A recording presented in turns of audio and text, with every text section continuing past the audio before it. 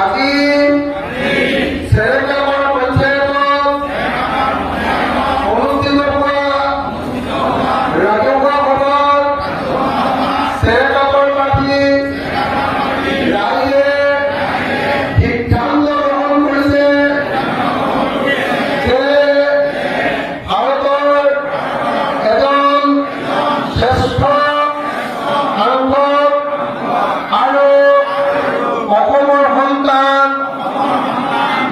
বীৰত্বপূৰ্ণ ভূমিকা গ্রহণ করা।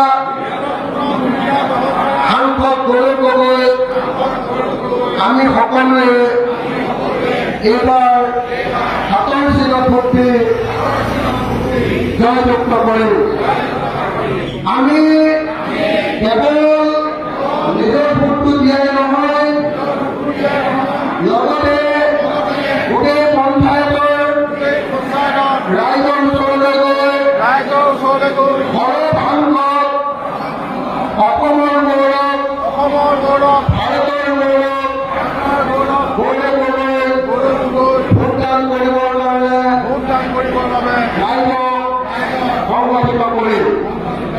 ধন্যবাদ জয় অসম জয় অসম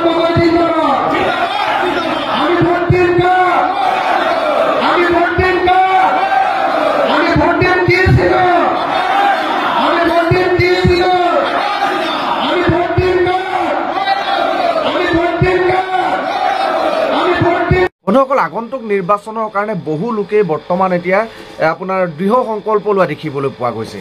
আজি কেইদিনমানৰ আগতে বিজেপি চৰকাৰৰ চৰকাৰখনে প্ৰদান কৰা অৰুণোদয় আঁচনিৰ কাৰণে বহুকেইগৰাকী মহিলাই শপত গ্ৰহণ কৰা দেখিবলৈ পোৱা গৈছে। আৰু এতিয়া অখিল গগৈৰ এটা নিৰ্বাচনী প্ৰচাৰৰ মাজতে দেখিবলৈ পোৱা গৈছে।